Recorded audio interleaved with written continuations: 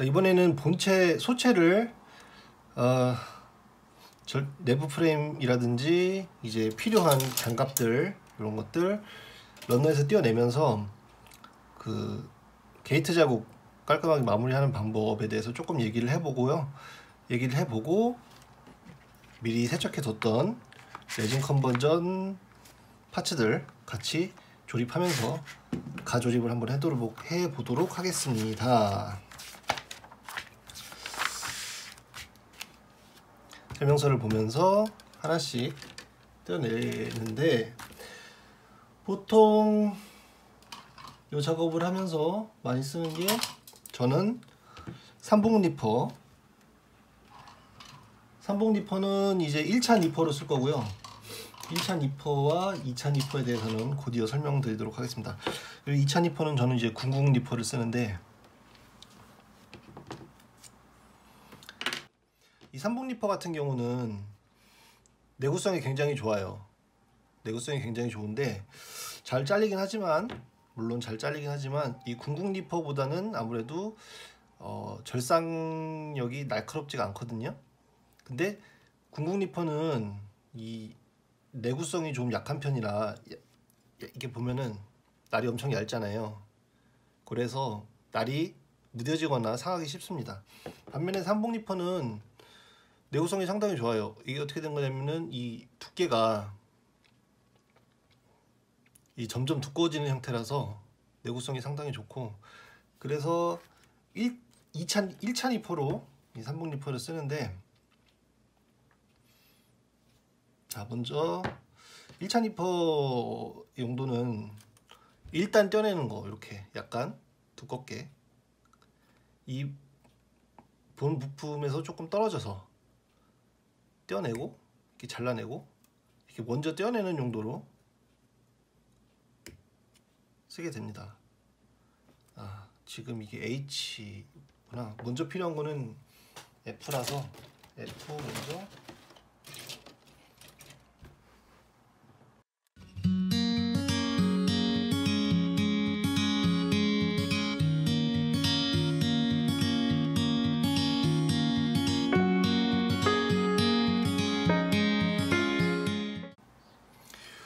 이게 지금 PC 부품인데 폴리캡 부분이죠. 폴리캡 부분 같은 경우는 이 얇은 2차 니퍼로 하지 말고 단단한 2차 니퍼로 먼저 하는 게 좋아요.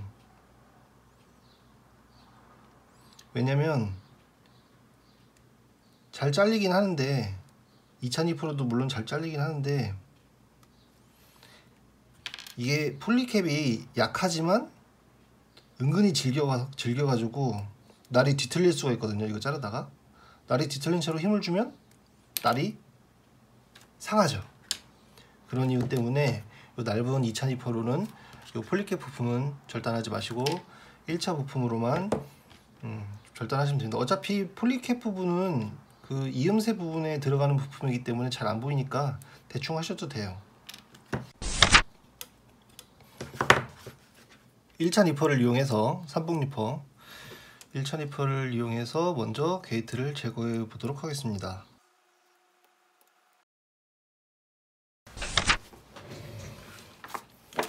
이 지금 흉부 장갑을 여기에 해당되는 흉, 흉부 장갑을 떼어내려고 보니까 지금 준비했던 이 conversion kit에 흉부 장갑이 이제 해당이 되거든요. 그 부분이 여기 보면은 음, 9, 10, 11, 12, 13 이렇게 있죠. 요, 요, 여기 9, 10, 11, 12, 13 요 부분이 해당이 되는데 대충 먼저 다듬어 보겠습니다. 레진 부품도 레진 부품도 게이트 자국 같이 이렇게 이렇게 사출 뭐라고 해야 되냐 사출 그 자국이 있네요. 예비 부품이 아 예비 부품이 아니라 게이트 자국 같은 게 있는데 그걸 떼어내도록 하겠습니다. 처음 해봐요 레진은 그래서 좀 조심스럽고 알지 못하는 게 많습니다. 야 이게 절대로 이게 깊이 파내면 안 되겠네요.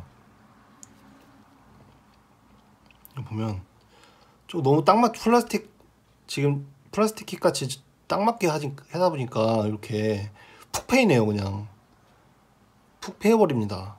이렇게. 어떻게 잘 보이려나? 그래서 조금 여유 있게 잘라낸 다음에 사포로 다듬도록 해야겠어요. 다시 한번 해보겠습니다. 조심스럽게 잘라서 조금씩 잘라야겠어요 조금씩. 힘을 덜 받게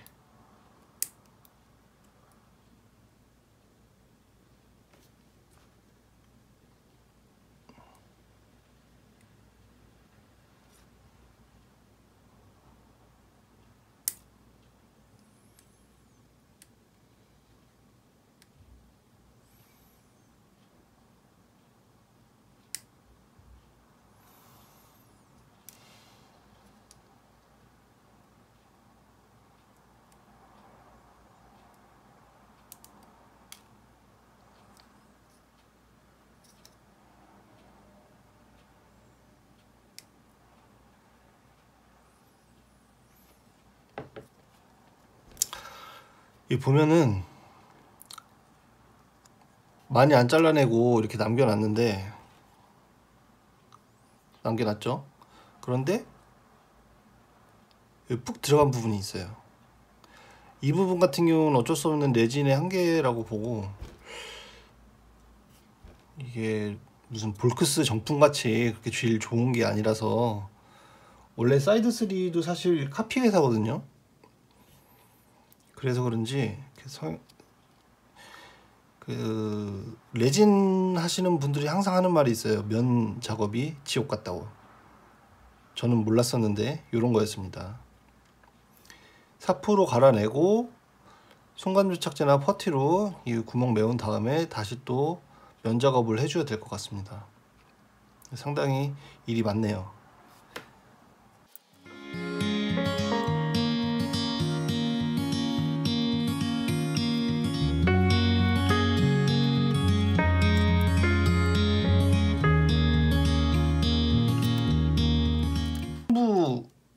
파츠를 조금 이 2차 런너로 다듬고 있었습니다. 그래서 요 아직 다듬어지지 않은 다듬어지지 않은 레진 파츠들과 함께 한번 결합해 보도록 하겠습니다.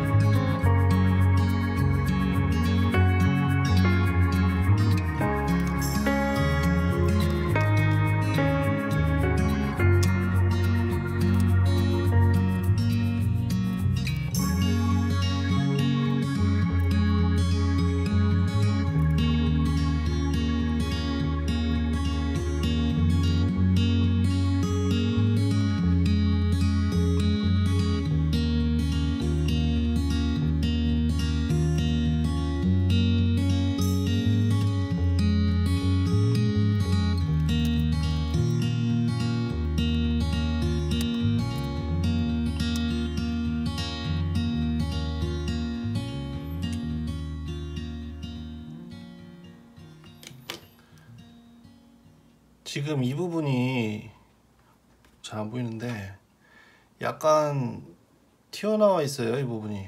이 부분이. 이 부분이 약간 튀어나와서 지금 이걸 껴도 와, 완전히 밀착이 안 되고 이렇게 약간 유격이, 유격이 있거든요. 이게 요 발칸 부분 때문에 발칸 부분 표현하느라고 여기가 조금 있는 것 같은데.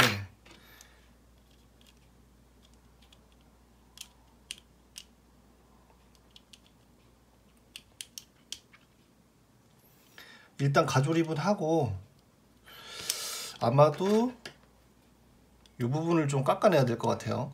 이 부분을 조금 깎아서 어깨 장갑이 그 뭐야 흉부 장갑이 잘 들어갈 수 있도록 맞춰야 될 것 맞춰줘야 될 것 같습니다.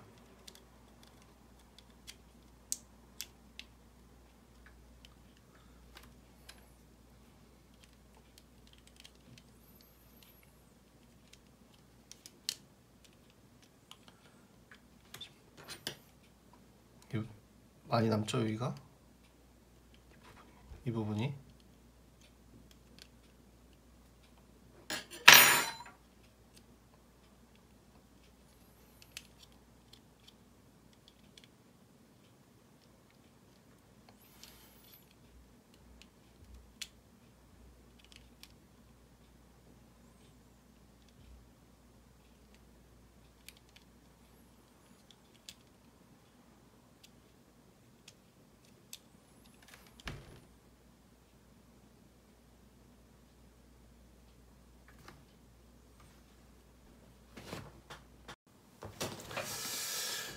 아 지금 여기까지 지금 조립을 해보고 있거든요 가조립을.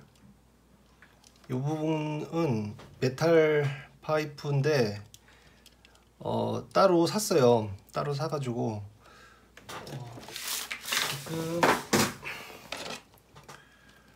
원래는 이 부분이거든요. 이 부분을 대체해서 이 메탈 parts를 따로 사서 이렇게 했습니다.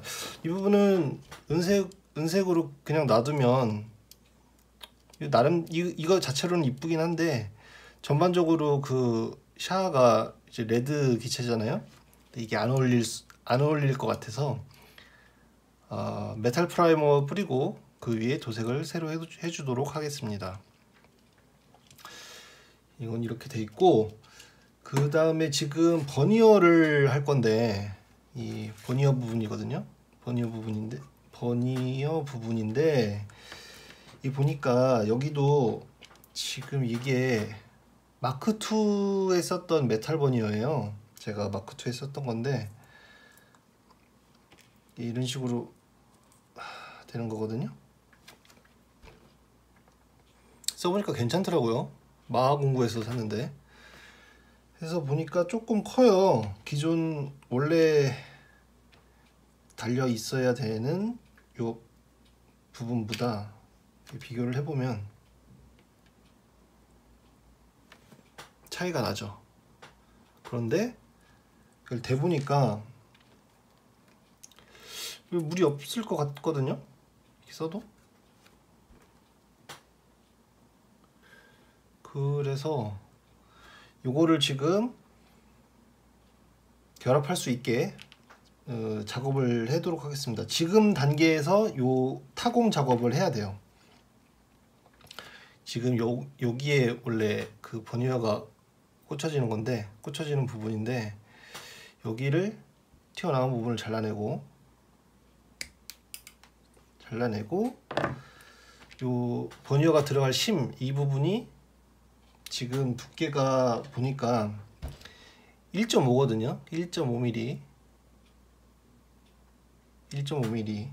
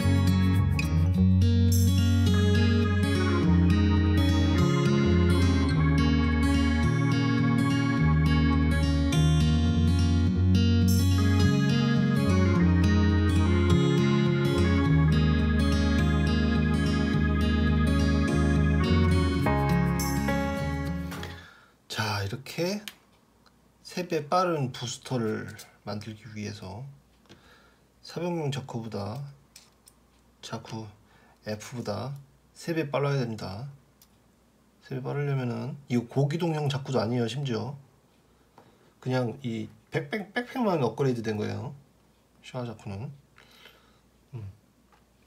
잘 어울리죠?